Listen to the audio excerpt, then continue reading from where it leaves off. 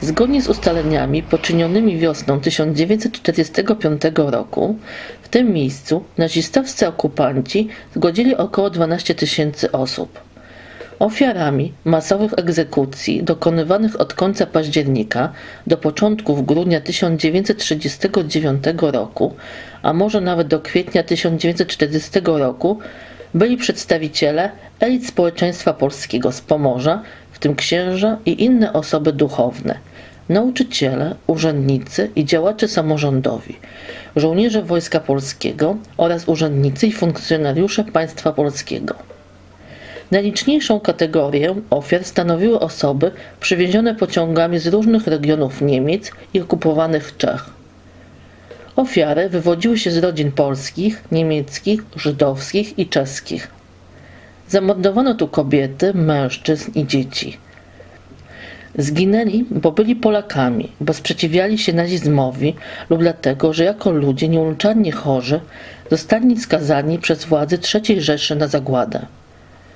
Według naocznych świadków najbardziej tragicznym dniem był 11 listopada 1939 roku, obchodzony przez Polaków jako święto niepodległości.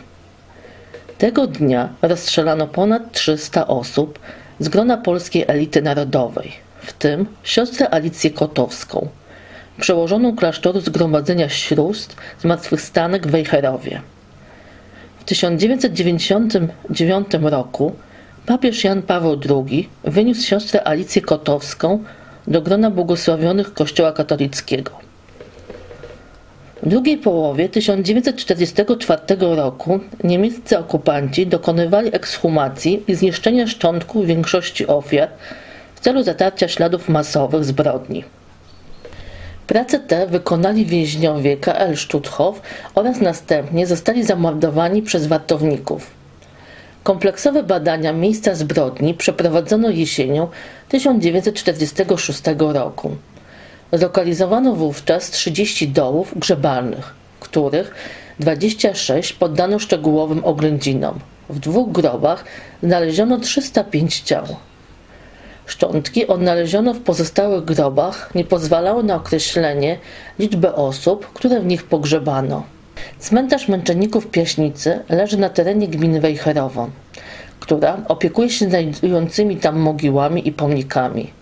W tych działaniach gminę Wejherowo wspomagają firmy i instytucje z powiatu wejherowskiego oraz stowarzyszenia, których celem statutowym jest pamięć o Piaśnicy dużo było na przykład kłamstw, tak, bo jest w historii wpisane, że większość ludzi zginęła z, broni niemieckiej, zresztą to jest fałsz, tak, były, cząstka ludzi dorosłych była potwierdzona, większość dzieci, tak, w 70% można powiedzieć i były zabijane w ten sposób, że były chwytane za nogi dzieci do wieku, nie wiem, 15-16 lat, można powiedzieć, maksimum i uderzane o drzewo, tak? Dzieci półżywe były rzucane w ogień, gdzie koło kaplicy są drzewa powykrzywiane od temperatury właśnie spalania szczątek, nie szczątek, półżywych ludzi. Jest tutaj setki, setki też jeszcze nieodkupa, nieodkupanych, a to dzięki właśnie komunizmowi, który blokuje to wszystko, tak, tą, tą całą pamięć.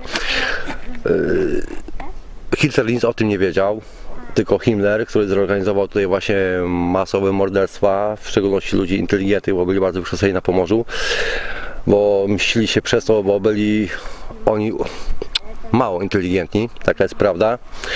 E, wybierali też przez dzieci e, o niebieskich oczach, blond włosach, czyli jak tak zwanych Aryjczyków i przy, przywłaszczali te, te, te dzieci i dawali im rodzinom niemieckim, którzy ich wychowali właśnie na Aryjczyków. Taka była prawda. Co tu jeszcze można ciekawego powiedzieć? E, byli okłamywali też Jęcy niemieccy, czyli był taki robiony plan, że będą mordować, zakopywać ludzi i uzyskają wolność. Też to był fałsz, tak? Byli razem z nimi zabijani w sposób taki, że kolbą dostawali w kark i półżywi byli zakopywani. Nie wiem, co jeszcze chciałbym pan powiedzieć na ten temat. No, e, tu na odległości, no nie wiem, no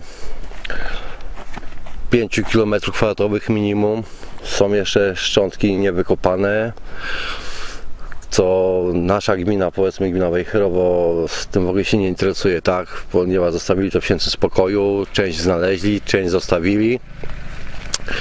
Nie wiem, czy to chodzi tutaj o politykę, czy nie o politykę, ale to jest w stosunku do polskiej historii nieuczciwe, tak? Bo Polacy powinni wiedzieć, co tutaj się na Pomorzu wydarzyło, a nie tylko w Warszawie, Wrocławiu, w Krakowie, bo tutaj też przeszliśmy bardzo mocną tragedię, tak? Bo wątpię, że w Warszawie były dzieci, dzieci e, ta, tak zabijane w taki brutalny sposób, tak? Niehumanistyczny.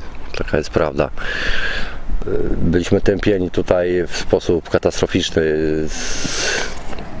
który nam nie pozwolił, powiedzmy, to pamiętać, tak, bo mało jaki Polak by chciał wiedzieć o tym, że jego tam pra, pra dziadek czy ktoś z rodziny był w sposób taki brutalny zabijany, po co sobie moim zdaniem uzmysłowili, a zginęli na wojnie i to wszystko, tak, a nie sobie dlaczego.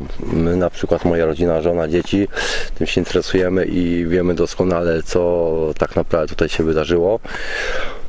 Moja świętej pamięci babcia, mój dziadek, który obecnie żyje, przeszli to tą tragedię, udało im się uciec i dzięki nim no, mam wiedzę trochę większą, moim zdaniem, taką prawdziwszą, niż tutaj nasz PRL opisywał to wszystko, bo gdyby PRL opisał całą prawdę, to niestety Rosja by się w pewien sposób moim zdaniem mściła, tak? Bo byliśmy niestety pod okupacją niemiecką, jakimś, e, ro- rosyjską, przepraszam. Pan powie, dziadek uciekł stąd? Tak. Piaśnicy. Dziadek z Piaśnicy uciekł. Najpierw trafił do obozu z babcią. Tam, tam się poznali. Szczerze mówiąc, yy, babcia, yy, bo mój dziadek w ogóle jest Niemcem, tak? I yy, udało mu się uciec w ten sposób, że oszukał yy, władze niemieckie pod jakimś tam pretekstem i po prostu szli w las. Z tego co dziadek mi opowiadał, to dwa tygodnie mieszkali w lesie, żywili się wszystkim co było możliwe. I udało im się uci- uciec do Gdańska, tak? tak zwanego wolnego miasta. I tam żyli w piwnicach, nie w piwnicach, aż wojna się zakończyła, tak? W ten sposób. Dziadek opisywał, mówił, jak widział, jak e, ludzie zabijani, tak, że e, na przykład cztery osoby stały e, w szeregu wzdłuż i próbowali Niemcy zrobić takie doświadczenia, że jedną kulą jak najwięcej osób zabić, tak? Jak kula nie trafiła, to i tak szedł do grobu, był tam jakoś kolbą uszkodzony od karabinu, który błagał o życie, jęczał, a Niemcy z tego się śmieli, tak? Y, Robili sobie, że własne odchody musieli jeść na przykład y, przed y, od- odejściem z tego świata, wybierali sobie dzieci, tak? Którego najgłośniej piszczało, to szło pierwsze, tak? Wybierali sobie drzewo, o które będzie drzewo uderzane, dzie- dzie- dziecko będzie które uderzane. No i najgorszy właśnie to był ten ogień, jak dziadek mówił, że słyszał e, piski, jęki z ognia, tak, ludzi, dzieci. Ogień, dziadek mówi, że około wysokości był 6-8 metrów.